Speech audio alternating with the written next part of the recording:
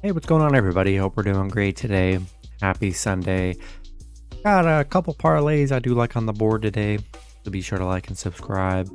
Check out all my betting links in the description below to get in on the action. Go ahead, turn on those notification bells, and yeah, we'll hop in here.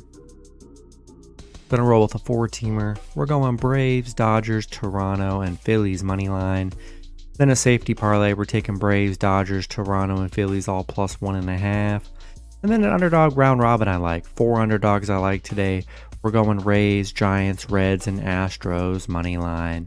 That's going to be it for the video. Good luck with your picks and parlays on Sunday. Hope you guys all cash out, and I'll see you guys Monday. Have a good one.